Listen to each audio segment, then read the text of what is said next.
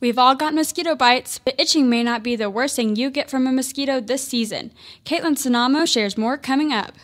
How about those Red Raiders? Coming up, we'll have an inside look at the Texas Tech chain gang. But first, Raider! Shh, keep it down. Haven't you heard about all the local noise complaints? Sarah Scroggins shares more. Good afternoon, I'm Andrew Nepson. And I'm Corley Peel. Welcome to MCTV Weekday Update. Texas Tech's victory bells aren't the only thing making noise on campus this fall in Lubbock. MCTV reporter Sarah Scroggins investigates a recent spike in area noise complaints. The roof is one of Lubbock's newest hotspots, attracting patrons with drink specials, live DJs, and a spectacular view of Jones AT&T Stadium and the Lubbock skyline. However, roof employees are discovering that residents are not too fond of hearing the sounds of a live DJ at 1 o'clock in the morning. I would say that they're coming from like uh, neighbors or like um, people living in the residential neighborhood around the bar, mostly like behind the bar.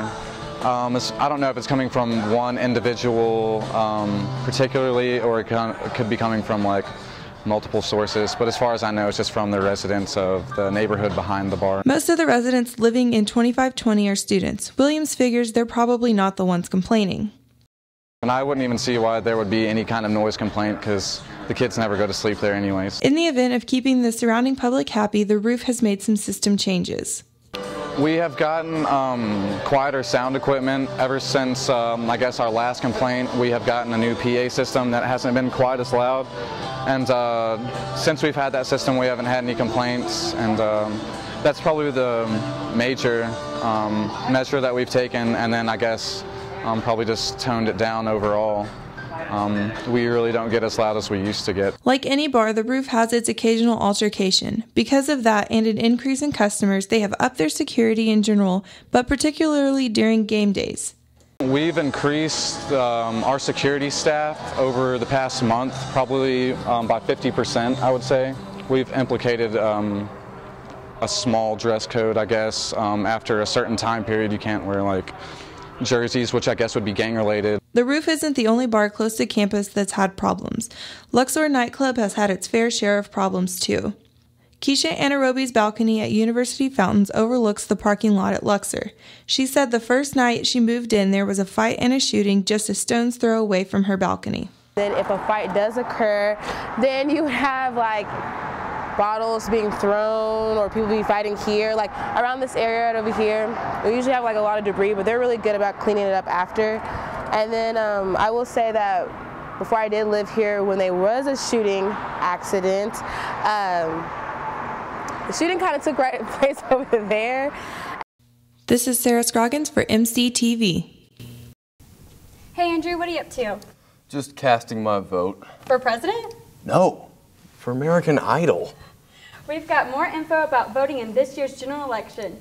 Make sure you register to vote. With Election Day a little over a month away, organizations on campus are making a push to register students to vote in the presidential election on November 6th. We're just trying to make sure that people get out there and vote. Texas Tech student Daytu Onsen is a French national, but said it's important that people who are eligible to vote register. At least be registered. Like, if you don't know if you're going to vote, at least be registered so you have that option and that decision to make a choice.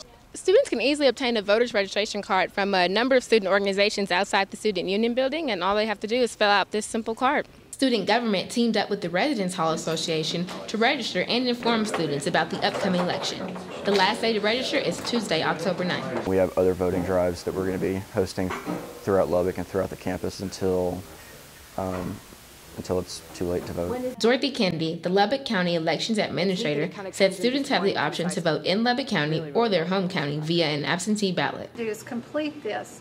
And there are deadlines, so you want to get on the website and review what the deadlines are. Students that decide to vote in Lubbock will be able to vote at any of the locations in Lubbock County, including the Student Union and the Rec Center on campus. Lubbock County was the first county in Texas to implement vote centers, meaning essentially there is no wrong place to vote. So there are 36 locations that you can uh, pick to in addition to, you know, the sub, which will be very crowded on election day with our, our college students. Reporting for MCTV News, I'm Stacia Smith. Whether you like this fall cold snap or not, the recent dramatic change is bad news for area mosquitoes, which is good news for us. Caitlin Sonamo has a story. Terry Dickey says Sam Quinones was a healthy 78 year old man. My mom's husband got, uh, got sick, and wasn't able to stand up and walk. And the sickness got worse. That evening, he fell out of the bed. So she went ahead and called an ambulance, and they took him to the hospital. She could have never imagined the diagnosis. But it, it was confirmed as West Nile. West Nile virus has been spreading across the state at a rapid and surprising rate, causing not only scare among people, but research into why and how to stop it to begin. Dr. Steve Presley with the Institute of Environmental and Human Health is head of that research department and says weather and geographical conditions has caused the mosquito population to increase. Um, Culex tarsalis, the, our primary vector species here, it likes stagnant, highly polluted water like in a hoof print or an old tuna can or a, a soda can thrown out in the backyard. Uh, it, it's very effective in drought conditions. If it just gets a little water, it'll start reproducing. The Institute sets traps around Lubbock in areas just like that. Bi weekly, researchers come out to sites just like this to collect mosquitoes to test them for West Nile. They take these traps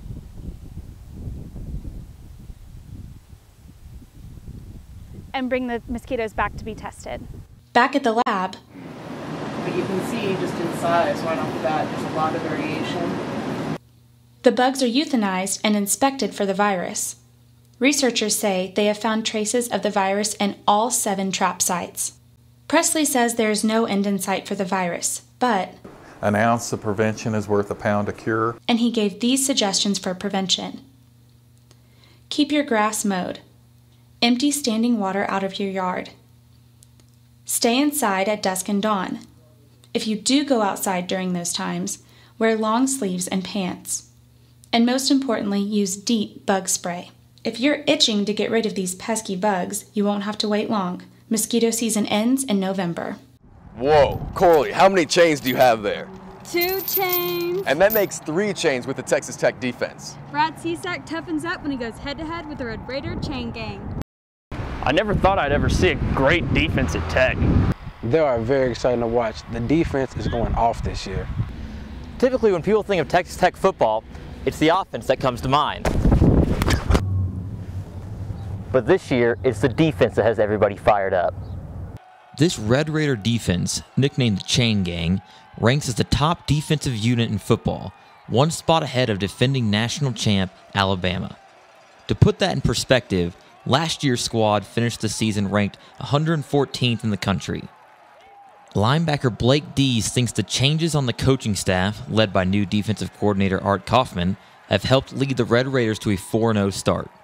Well, I think it is it's different just because of coaching wise, and uh, we're a lot more comfortable now in the field because we know what to do, and the the scheme we have is so easy now. I mean, I, I wouldn't say easy, but I mean it's easier than last year's, and uh, we're just it's clicking a lot better than it did last year.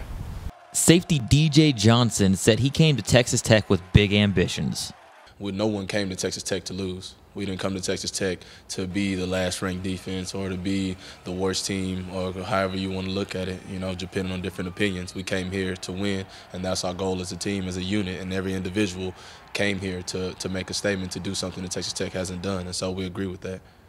Defensive coordinator Art Kaufman said he thinks depth throughout the defense has helped them to progress to where they are now.